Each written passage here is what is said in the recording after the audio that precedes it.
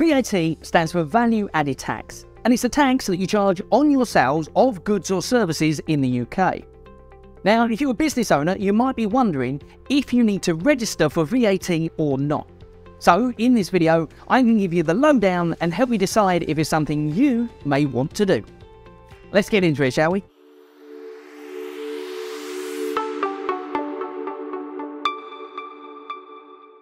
Now in today's video, I'm going to talk about VAT registration and whether it's a good idea for your business. Now incidentally, there are two main scenarios when you have by law, in other words, you've got no choice to register for VAT.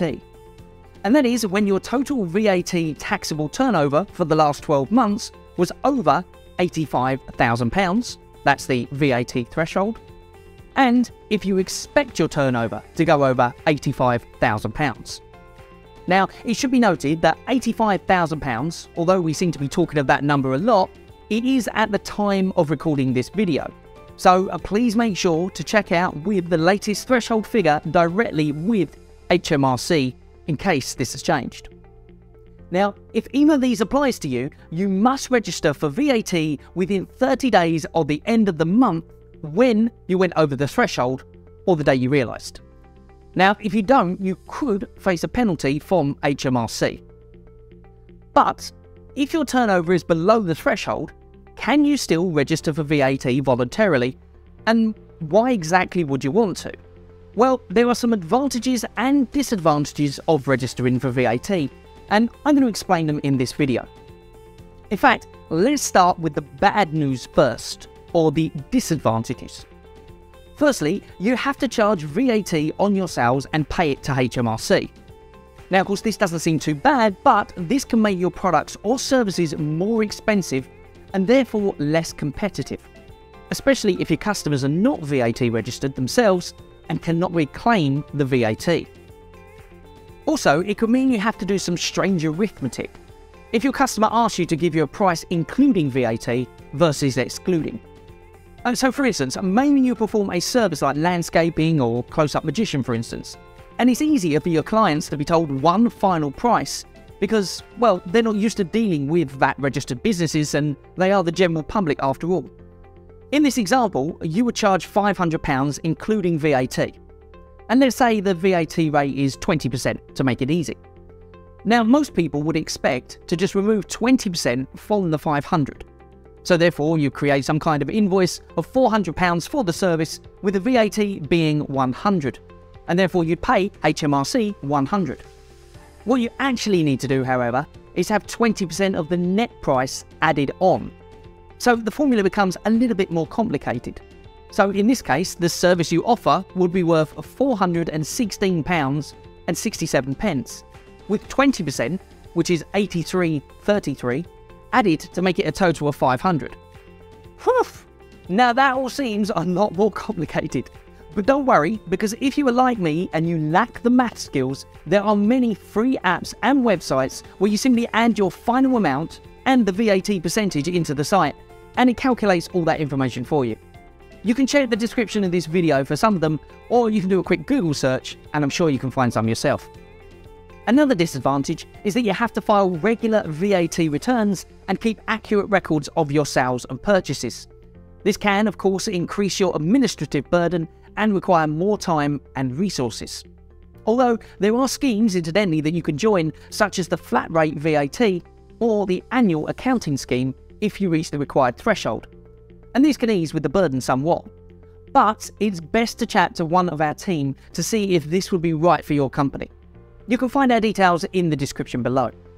Another disadvantage is that you have to comply with the VAT rules and regulations. Now, this can be complex and confusing, especially if you deal with different types of goods or services, or trade with other countries. So that all sounds like doom and gloom. But don't worry, because there's some great advantages as well. Now, these include that you can reclaim the VAT that you've paid on your business purchases and expenses. This can reduce your costs and increase your cash flow. In fact, if you've been in business for a number of years and then you register for VAT, you can actually claim back the input VAT you've paid over the previous four years for goods which your business still uses. and for the previous six months for any services. Now, if your business supplies zero rated goods and services, meaning that you don't have to add VAT to your invoices, you can claim back the input VAT you pay each quarter. You can appear more professional and credible to your customers and suppliers. In fact, some businesses only deal with VAT registered companies, so registering for VAT can actually open up more opportunities for you and your business.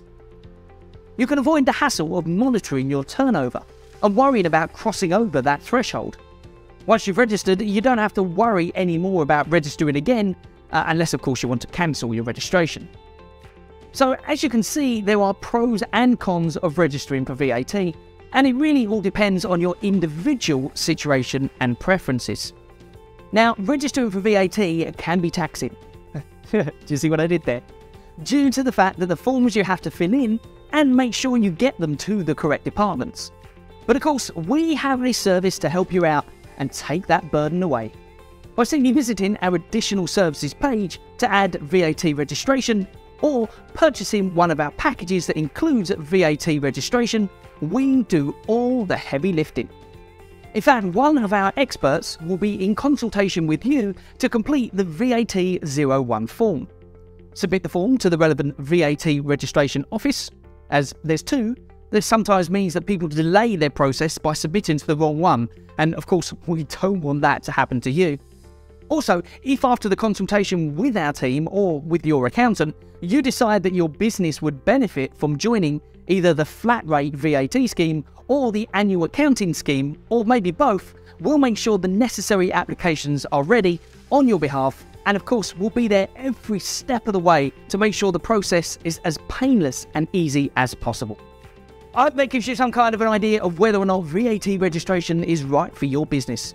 If you have any questions at all, you can drop them in the comments box below or contact one of our friendly team at yourcompanyformations.co.uk or visit our social channels, which you'll find linked in the description of this video.